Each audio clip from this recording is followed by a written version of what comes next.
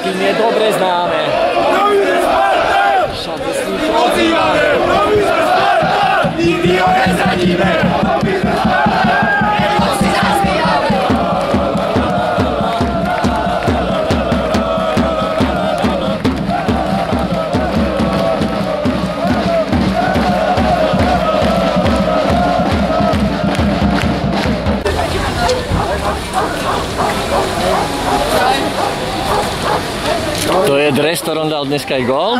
Vážne?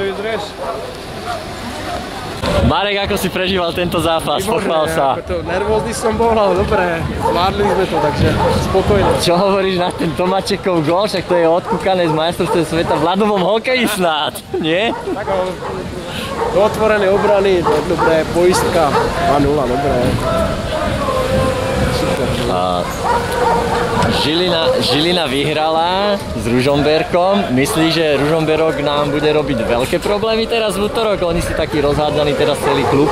Tak určite, ale podľa mňa pri našej e, eufórii a to, jak sme dneska zvládli zápas, tak si myslím, že, že to zvládneme a dúfam, že to bude do posledného kola zajímavé. A ja pevne verím, že